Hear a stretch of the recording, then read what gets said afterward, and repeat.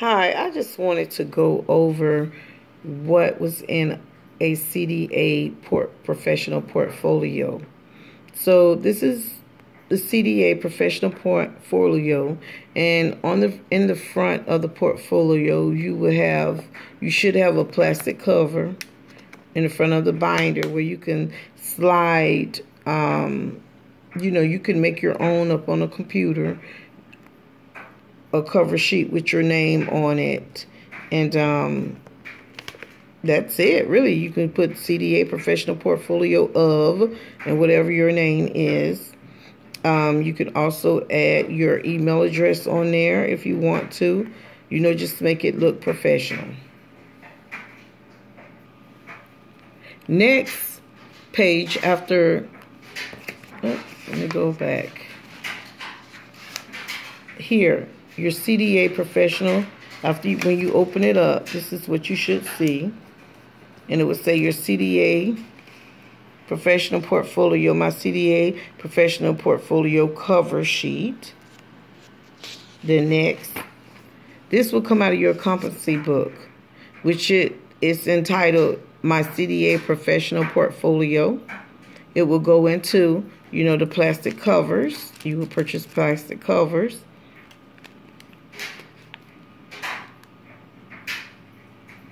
And if you look closely here, required portfolio items. And it goes down, it tells you like the first one, my CDA professional portfolio cover sheet. Then it goes to A, summary of my CDA education cover sheet, followed by all relevant training transcripts, certificates, and official documentation. Then B, you have tabs with A, a tab with a B. So you, you have to buy the tabs to go into your portfolio. And then family questionnaires. And then C, reflected competency statement. And on and on and on. But this sheet here will come out of your competency book that you need to purchase. Okay? And then at the bottom, you assign it. I'm not going to show you her initial and on the side you'll check it to make sure that's ev- that you have everything inside of it. I just want to give you a close look at it. But you have to purchase this this book anyway, the competency book. So you can't get around it. So go ahead and purchase it and this sheet is in there. Okay. After that, after you turn it over, you'll have a tab and notice that she has tab A. And behind tab A, she has CDA Professional Portfolio A section. Then behind that, she has a CDA Professional Portfolio Summary of My CDA Education. Then when you flip that over, you have a summary of my CDA education. Yes, it says the same thing as the other one that came out of comp out of the competency book, but it's not the same sheet. As you look down, I want to move this down. I'm covering it with a piece of mail. It will say statements of CDA education completion and these are the subject areas, the CDA subject areas that you have to include in your portfolio.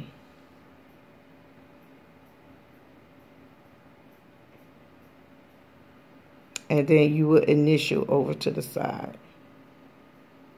And then at the bottom, you will have to sign it with that you attest to. Okay. After you turn the sheet, she has a CDA professional portfolio, and she have on here her high school diploma or GED, or um, you can have if you went to college. All of that information behind that. Okay, I didn't show you her diploma or anything, but she had her diploma by behind there. And after that, she has another another cover sheet which is also in a plastic protector. It says CDA Professional Portfolio, documentation of 120 clock hours, no fewer than 10 hours in each content area. Okay? Okay, and this right here, it goes on to show you after that page. You don't have to have this after the page, but some are set up different. But this is the total CDA credit hours completed that's needed. And um, it's the same thing that was on that paper that came out the competency book, which is your CDA subject areas required, a minimum of 10 in each area, planning, safety, you know, going down, so have you. Uh, number seven, observation and recording children's behavior, principle of child development and learning. All of this will need to go inside of that, okay? And this does not necessarily have to be in your portfolio. I also, behind there, she had her training from DCF, Children and Families, her training from DCF. That adds into her 120 clock areas. And these are the different trainings that she had in there. And that was behind that tab. The next page, she went into the CDA professional portfolio. She typed CDA professional portfolio documentation of work experience. Any work experience that you have had. And yes, she's had one at a daycare. So what she did, she got the daycare to write her a letter how long she was working there. I didn't show you um, what daycare she worked at, but it was a letter. So then after the letter, she have her tab, tab B. And after tab B, she has her CDA professional portfolio, section B. After that came CDA professional portfolio, family questionnaire summary sheet. On this summary sheet, it's going to, it comes out of your competency book. Hold on just a minute. It comes out of your competency book and it says family questionnaire summary sheet. And then right here it'll say I distribute 15 you know how many ever you distribute to the fam- of the family questionnaires and how many you collected back, how many came back to you. And then it talks about your strengths and um and your areas of professional growth later on down. Okay? And this comes out of your competency book. The next page after that is your CDA professional portfolio family questionnaires that you received back. She says she distributed 15, she received 10 back. So behind here is it will show you. Let me see if her name let me go down to the bottom. Here, these are the 10 that she received back, and she put it all in one plastic cover sheet, the ones that she received back, okay? Then after that, she has a tab, a tab that says nothing, an empty tab, all right?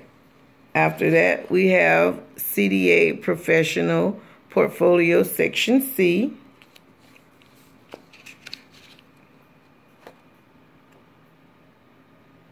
And then she starts talking about this behind there, competency standard one, to establish and maintain a safe, healthy learning environment. And you can type this up on, um, you can make sure it's typed up. It does not have to be on a format like this, but make sure you go through each section. One, safety, a paragraph talking about the safety that you provide for the kids, the healthy, and then a, um, a paragraph about healthy, and then a paragraph about the learning environment that you have put in place, or that if that you would like to put in place. All right. And after that, okay, not don't pay any attention to this one.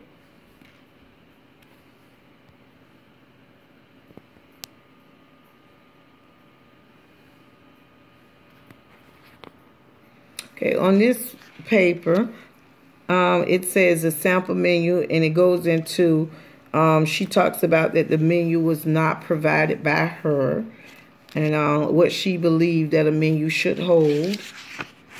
On this one, sample menu. Okay, don't pay this. This is just a duplicate of this where she's typed it out on here. It was written here and she typed it out on the other one because it needs to be typed out. Here is the room environment. She talked about how the room um, was not organized by her, but was organized by the Learning Center. But um, she just goes on and talks about how the room layout is. Here, weekly plan, where um, she talked about how um, who makes the who who um makes the weekly plan. And you know how she implement them and what's all included on the weekly plan like science reading and so have you. Then the next sheet after that she have her cpr and first aid because you know you're talking about health and safety here. So she'll have a, the, um, a paper made you can just type cpr and first aid training and then behind there she will have that Okay, I didn't let you see her her first aid training, but she put it into a plastic paper. And then behind that she has her weekly menu that is provided behind there. Okay.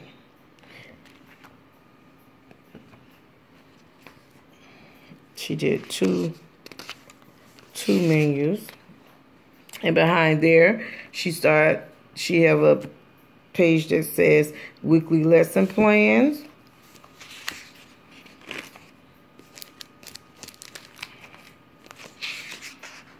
Which she has tab D. CDE professional portfolio D section. Then I see she didn't have the weekly lesson plans in there, but that's where you would have put it behind that tab that said weekly lesson plan that paper. Right here is competency standard two to advance physical and intellectual competency. And then it focused on physical, cognitive, the communication, and create and creative. Creative. And she broke each one, each section down. Creative. So you be creative. Okay, this is a one she retyped. Sorry. And then her learning experience.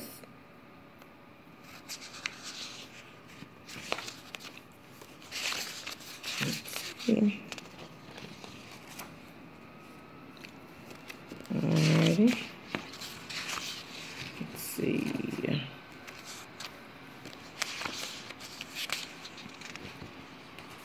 Communication and language development. Well, she labels everything. And right here, learning experience. In your words, describe nine learning experience activity that cover each of the following areas. And she went on, she wrote this here. And then she finished on here.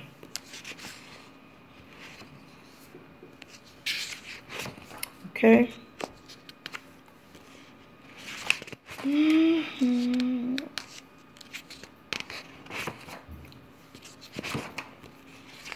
Okay, then we goes on, we keep going, and we get into section E.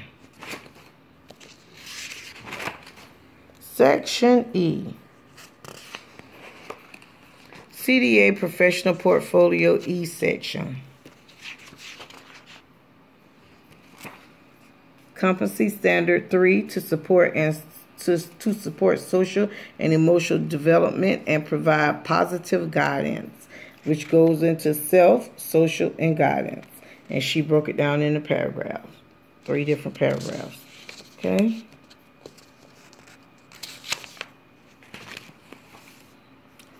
She did one on developing children's self-concepts. Hmm, pay attention to that guiding young children's behavior. And then she did development appropriate books. which we want to see in your CDA portfolio. Okay. It may not have to be all of this when it was published and everything, but it's good to have the author names and the title of the book. All right. She did a lot of them. You don't need that many of them, but that was good. So she's in section F, which is CDA Professional Portfolio, F section. Competency Standard to establish positive and productive relationship with families and families. And then she did one paragraph on the function area 11 about families, where she believed how family is very important. Okay. Then she talked about the communication with the families. Oh, we want to hear that. The awareness of children's home life. It's good to know about that. That's where we can find any problem areas. Sorry about the lotion showing through. And the family questionnaire feedback reflection. That's what she reflected on. Then she goes into the family resource guide, which is counseling and translation services. Okay.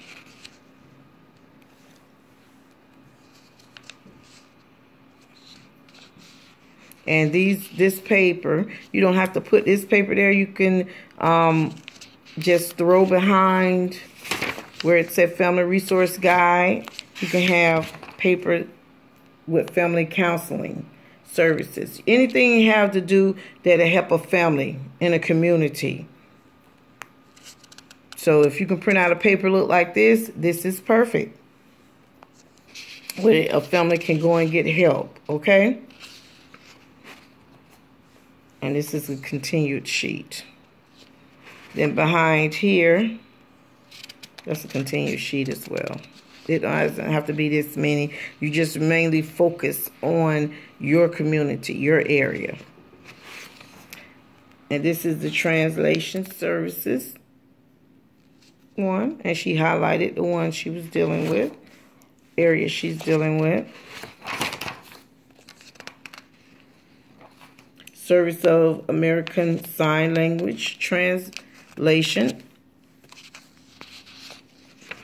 This is stuff that you can tell your um, parents, for your parents, you know, if they have a problem. They want to know that you know where to go at to get this information for the parent. Children with you can then you can type on a paper children with disabilities and you don't have to have that on there and it goes straight into where you can find these different agencies. That's all you're doing, just showing where you can find different agencies. She have it all in West Palm Beach, Jacksonville. You don't even need all of that. You can just, you know, around in your area. Okay. And let's see. Child Development Resources. Three resource articles. And she talked about the healthy children, the conjugal development, and then she has this printed up offline. Okay.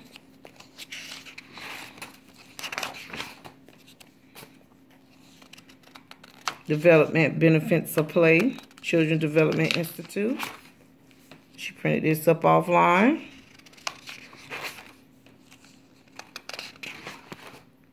Then the next one, child guidance and discipline. Okay. Printed this up offline. Alrighty. We're almost done. I know this is a long video, but hey, you're here for a reason.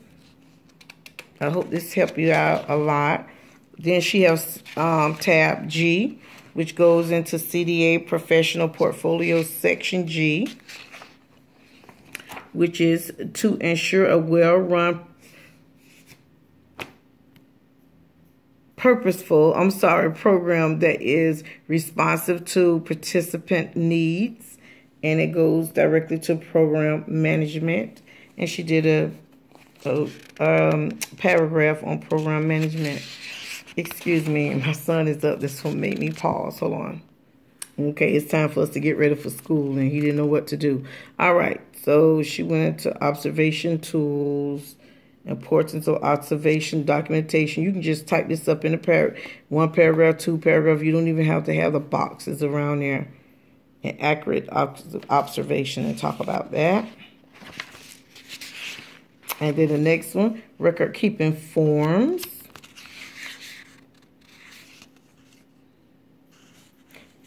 And it says place the three samples of record keeping forms behind this page. So you can put just record keeping forms and um, just put behind that sheet um, an accident report form, an emergency form, and a completed observation form that you can get from your daycare or whatever daycare that you use or offline, off the line.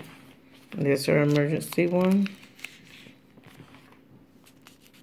And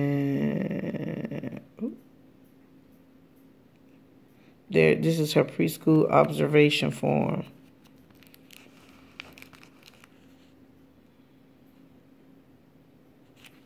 Mm -hmm. The next one, and it doesn't have to be filled out. We just want to see the forms. Is H CDA Professional Portfolio H section. This one is to maintain a commitment of to professionalism. And you start talking about professionalism. And she wrote a paragraph about that. Then you start early childhood professionalism.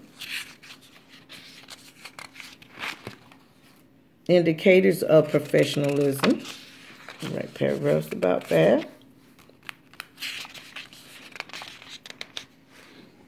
Child care regulations.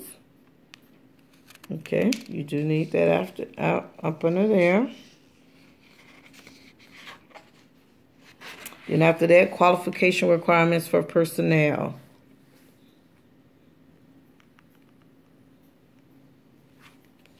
And you'll put it, you'll print a copy of the section that describes qualification requirements for personnel. Okay, and a ratio requirements. On, the book is about to fall. Florida Child Care Personal Requirements on Ratios. So you know this is based off of Florida's on. Child Care Facility Fact Sheet. You print this offline. The um, capacity requirements. Print it offline. Early Childhood Associations. See? All of this is printed offline. Reporting child abuse and neglect. Whatever state you're in. Then here it has Florida Child Abuse Mandatory Reporting Guidelines. And then this is this was printed offline as well. The two, 2013 Florida Child Care Statutes. And it's all printed offline.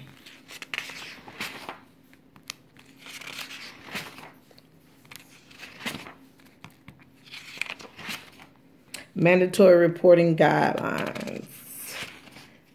All right, and this is section I, which goes in CDA professional portfolio I section. CDA professional portfolio professional philosophy statement.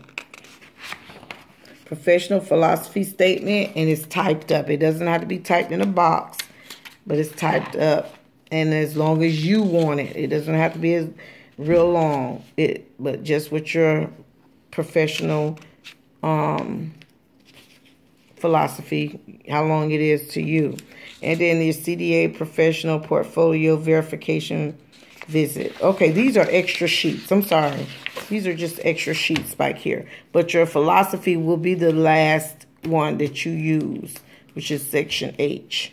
So I hope that that helped you out. If it did not, I'm very sorry.